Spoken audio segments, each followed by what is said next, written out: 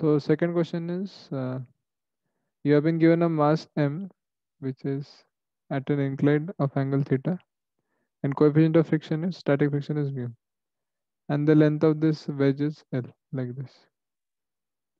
So you have to find the time taken by the block to reach the bottom. यहाँ पे पहुँचने के लिए कितना टाइम लगेगा तो ब्लॉक यहाँ से शुरू हो रहा है बेसिकली ठीक है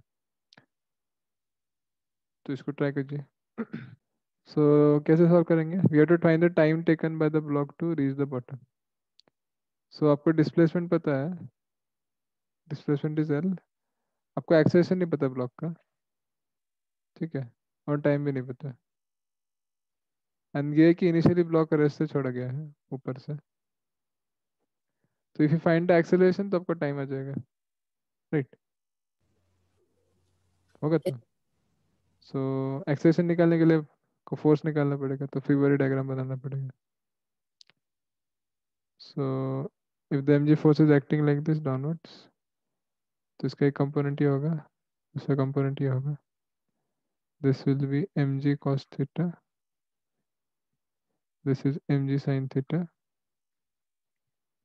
normally action रहेगा ऊपर ऐसे, ठीक है? And now because this rough surface of friction mu दिया है so there will be upward force friction ठीक है। So basically block will go downward so उसका एक्सेलेरेशन नीचे होगा।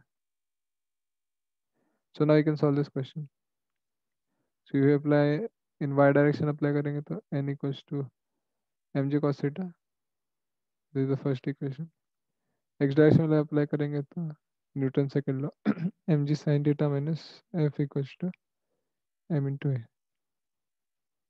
so how many variables are there friction acceleration and normal reaction तो एक और इक्वेशन चाहिए वो कहाँ से आएगा so because this block is sliding so friction will be maximum mu into n so third equation हो गया solving this you'll get the acceleration कितना acceleration आएगा इसका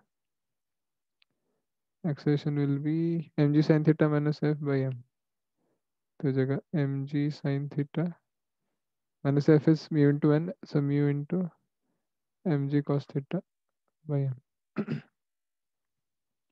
so the acceleration comes out to be g sin theta minus mu g cos theta इतना बार acceleration आ गया ठीक है so now we know the acceleration also ठीक है तो एक्सेलेरेशन पता है डिस्प्लेसमेंट होता है इनिशियल वेलोसिटी पता है यानी एक्सेलेरेशन कांस्टेंट है तो हम लोग काइनेटिक्स का सेकंड इक्वेशन लगा सकते हैं s equals to ut plus half at square plus half at square.